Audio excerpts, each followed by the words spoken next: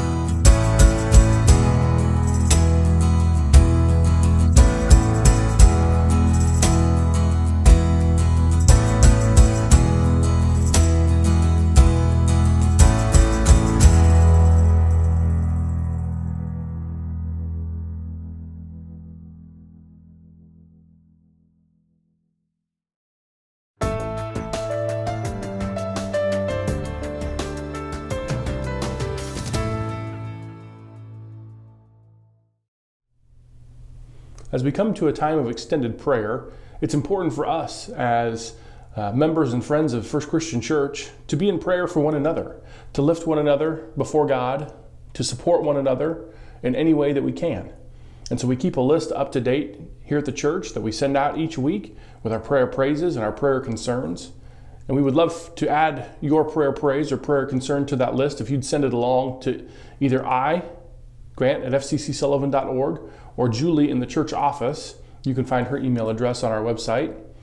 And we will keep that list up to date and we will be in prayer for one another. And we will lift our praises to God with one another as we have things to share and celebrate. I don't share any of those things during this video simply for privacy reasons. But I would invite you now to share those aloud wherever you are if you would like. And then we will spend some time in prayer together now. Gentle Shepherd, thank you for the way that you have led us to green pastures and still water. You've shown us beauty this week that has fed our souls. The brilliant green of the budding trees glowing in the morning sun, the delicate symphony the birds sing each morning, the caress of the warm sun on our upraised cheeks, the fragrance of lilac in the evening.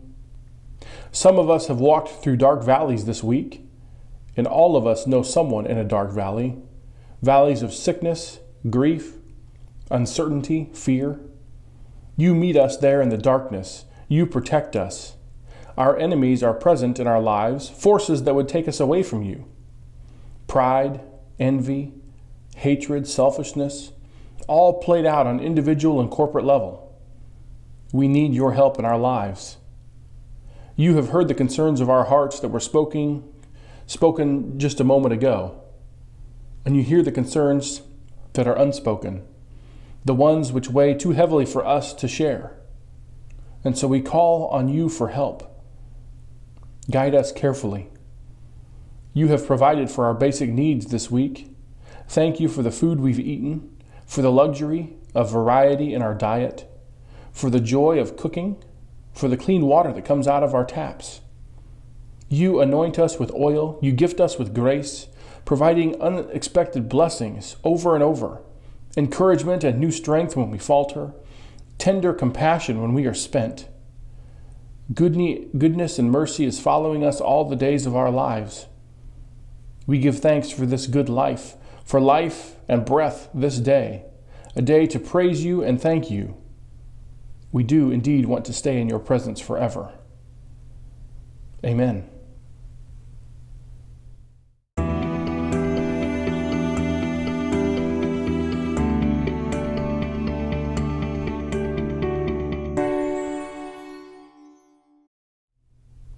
Our scripture reading today, as I mentioned earlier, comes from the Psalms, and it seems most appropriate today to spend time in the 23rd Psalm.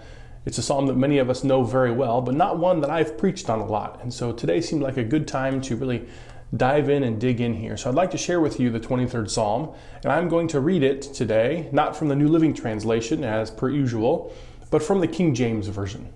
So listen now and hear the word of the Lord. The Lord is my shepherd, I shall not want. He maketh me to lie down in green pastures.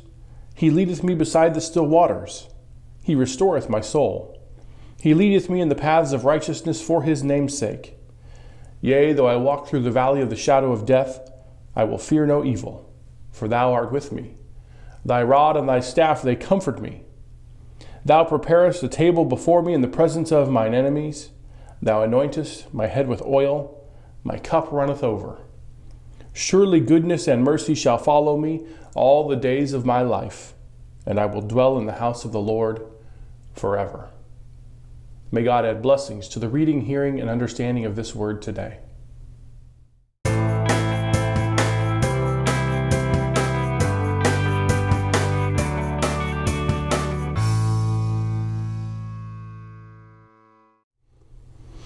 As a pastor, I've rarely been part of a funeral service where the family has failed to ask for this psalm to be shared. When I ask about a favorite scripture, this one is always the go to, almost always. And as a matter of fact, I think that it is kind of just assumed that the 23rd Psalm is always a part of a, a funeral service. I remember it being one of the scriptures that we memorized in Sunday school when I was a child. Songs have been written, stories told, and movies produced to bring this beautiful, peaceful, and reassuring images of this psalm to life for us modern day people who have probably never tended a flock of sheep. I don't personally know any shepherds. Maybe you do. I, I don't know. And green pastures around here are usually filled with cows, not sheep. Yet when I sing or hear the words, The Lord is my shepherd, the visions I have that, that come with the words are always full of peace and free of fear. Well, different translations of this psalm, I think, have added to its beauty and meaning as if it needed any help. I usually read it from the King James Version as I did for our gathering today because there's just something about it that's, that's so beautiful, so majestic, I suppose. The Lord is my shepherd, I shall not want. He leadeth me beside still waters. He restoreth my soul. There's something so peaceful and there's something so so beautiful about that. But I don't speak that way in my daily life. I doubt you do either. Well, for the past few years, I've tried to read uh, various translations of the Bible, and I really like how the contemporary English version of the Bible, which was completed in 1995 by the American Bible Society, I like how they render this scripture. So listen to Psalm 23 with, with new ears as I, as I read this. You, Lord, are my shepherd. I will never be in need. You let me rest in fields of green grass. You lead me to streams of peaceful water. You refresh my life. You are true to your name, and you lead me along the right paths. I may walk through valleys as dark as death, but I won't be afraid. You are with me. Your shepherd's rod makes me feel safe. You treat me to a feast while my enemies watch. You honor me as your guest and fill my cup until it overflows. Yes, kindness and love will always be with me each day of my life, and I will forever live in your house, Lord. I think that translation is so powerful because it talks in a way that, that I can relate to. I found another one by Eugene Peterson in his book, The Message, which is, in his words, it, it's a translation, a paraphrase. It's con- contemporary language, even more so. God, my shepherd, I don't need a thing. You have bedded me down in lush meadows. You find me quiet pools to drink from. True to your word, you let me catch my breath and send me in the right direction. Isn't this beautiful? Even when the way goes through Death Valley, I'm not afraid when you walk by my side. You revive my drooping head. My cup brims with blessing. Your beauty and love chase after me every day of my life.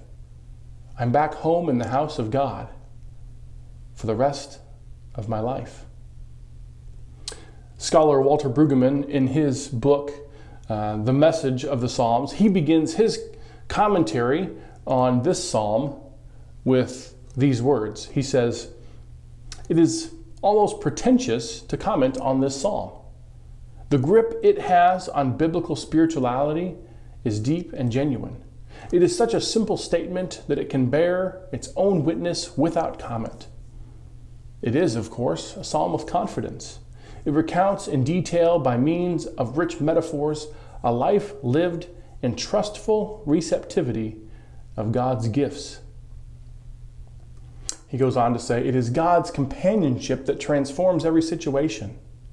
It does not mean that there are no deathly valleys, no enemies, but they are not capable of hurt. He says Psalm 23 knows that evil is present in the world, but it is not feared. Confidence in God is the source of a life of peace and joy.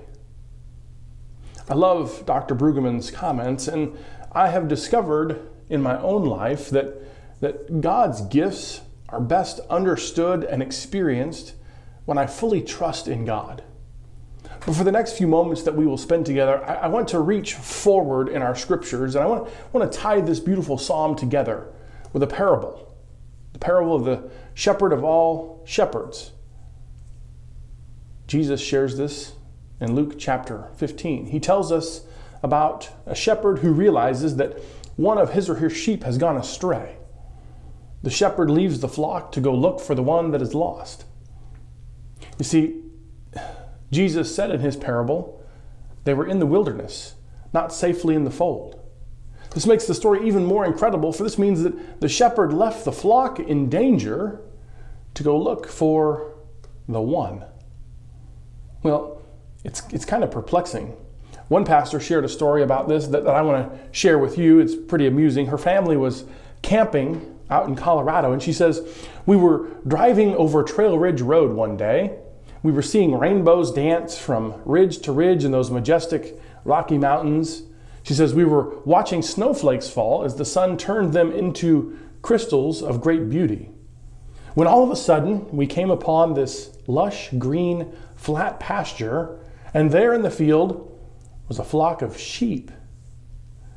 She says, I hit the brakes, threw everybody in the car out of their seats.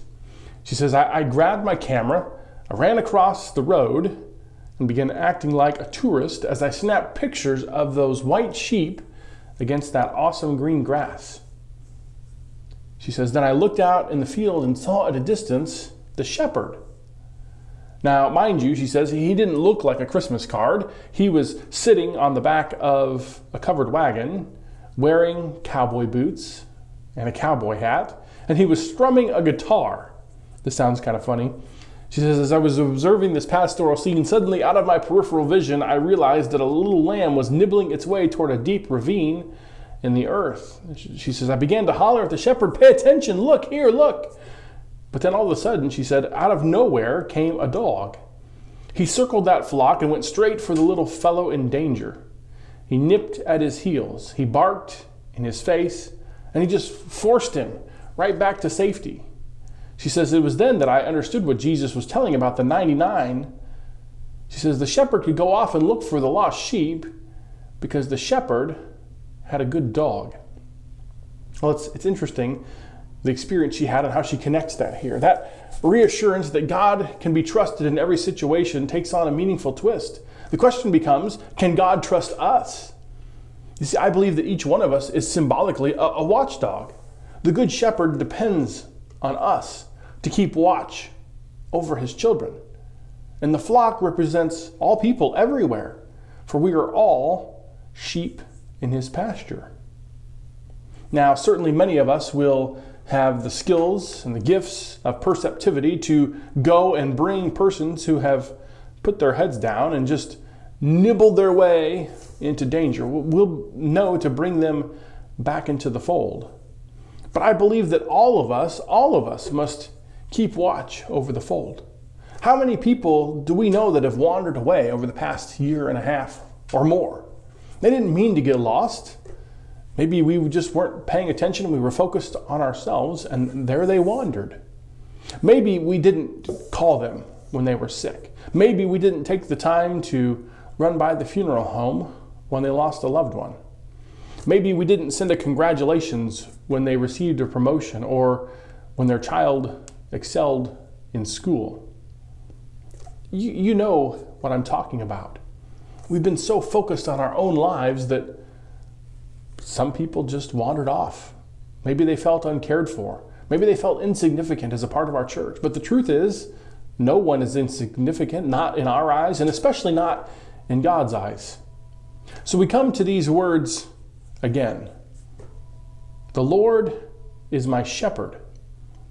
He leadeth me, He restoreth my soul. He offers me green grass and fresh water. But the question in life remains Can God trust me to be a watchdog? Perhaps we need to ponder that question also. In the New Interpreter's Bible, the author comments on Psalm 23 with these words. They say, To be sure, it is appropriate that Psalm 23 be read and, and heard in the midst of death and dying.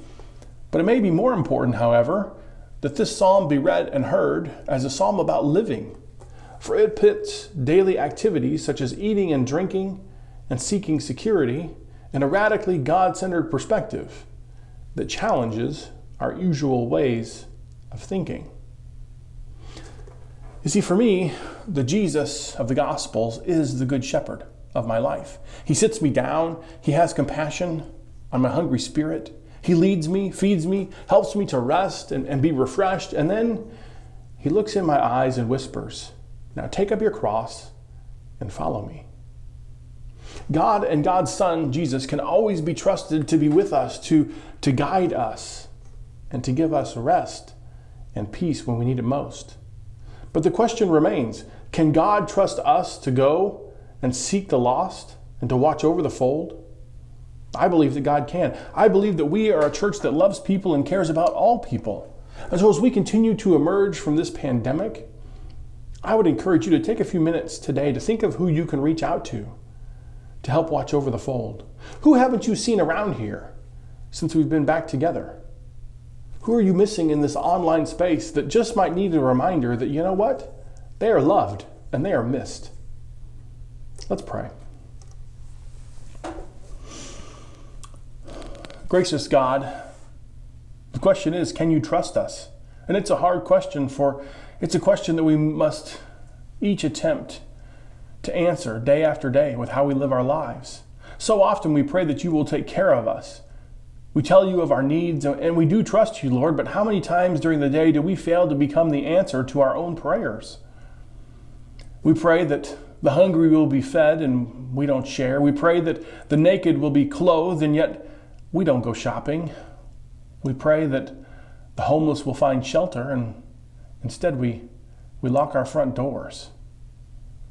We know, God, that too often we have just passed these concerns on to you in prayer and we've never been stirred in our souls enough to realize that we are the watchdogs that you trust us not only to bring back to safety those who are in danger, but to go out and to find those who are truly lost. So forgive us for, in so many ways, when we go on failing you, in so many ways, we go on reciting this 23rd Psalm without ever trying with all of our hearts to live it out. Let this be the day, Lord, that we become trustworthy. In Christ's name we pray. Amen.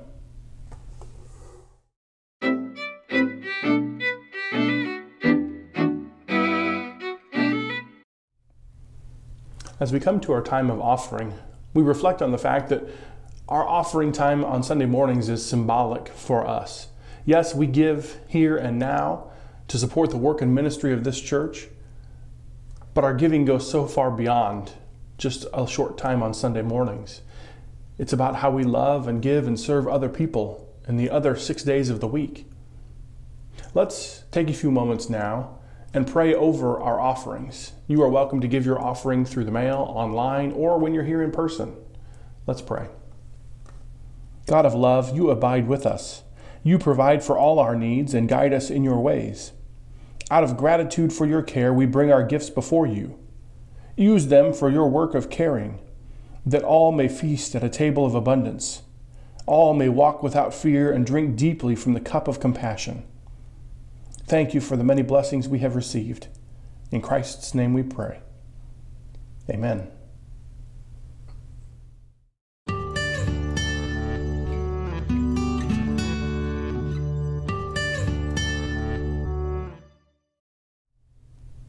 We come to our time of communion, I encourage you to have elements prepared. Need not be bread and grape juice, but this is an important part of our weekly worship together. Christ is perhaps more readily known in brokenness than in wholeness. In the breaking open of the intact tomb, we realize Christ is risen. With wounds still visible, the risen Lord appears. In the breaking of the bread and the fruit of the vine crushed and poured out, emptied, Christ is revealed as present and able. This is Christ's table, not for perfect people but for those whose lives are fragmented, crushed, utterly reliant upon God's grace in Jesus Christ.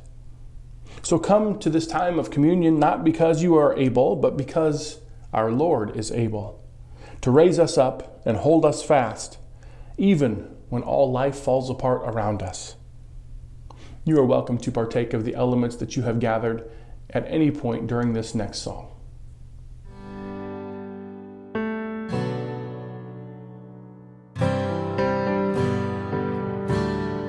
What can wash away my sin? Nothing but the blood of Jesus.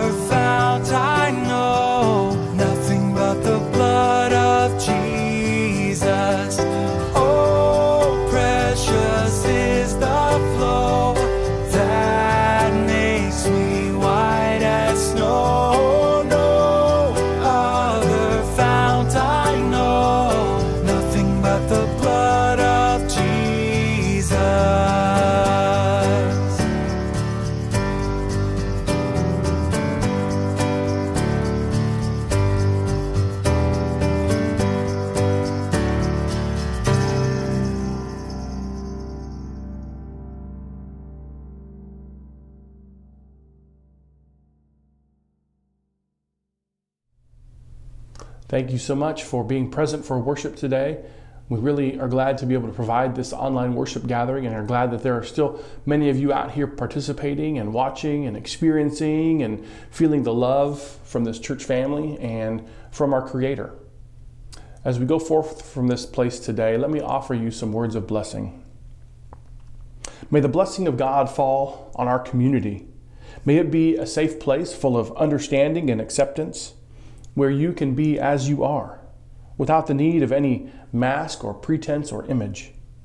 May this place be one of discovery discovery of the love of God, the peace of Jesus, and the transforming power of the Holy Spirit, where from the clay all can emerge to deepen and refine their knowledge of God's kingdom. Go in peace today. Amen.